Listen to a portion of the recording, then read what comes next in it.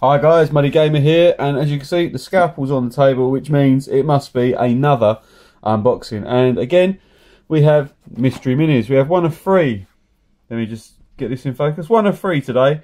So uh, I'm going to open these one after the other. So we make sure you check out the other ones. And let's crack straight into this one and see what it is.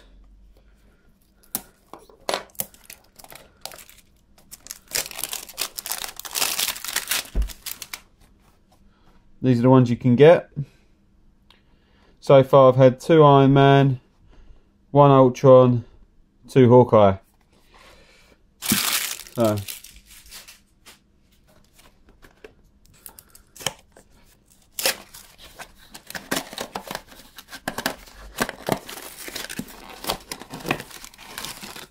Oh. Oh, actually, this feels different. This could be a Hulk. I think this is a Hulk. I haven't got a Hulk, so I'm quite happy. Let's have a look, shall we?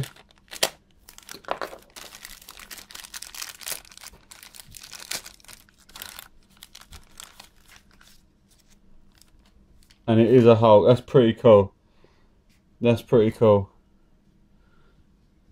And he's actually got some really good detail on him. Let me just get the uh, camera zoomed in for you.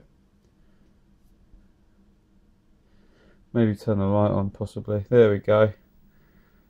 Some really good detail on him.